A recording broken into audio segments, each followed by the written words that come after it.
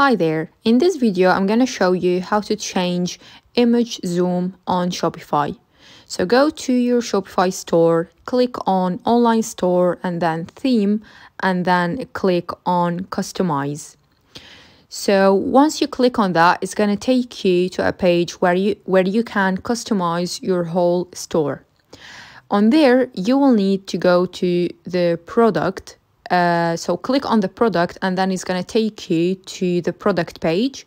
Uh, so there you will need to scroll down on the left side but make sure that you click on the picture or on the product image that you want to amend and then scroll down on the left side until you find um, this one like this part so from here you can basically zoom in and zoom out and uh, basically make the changes that you want to make super easy and simple.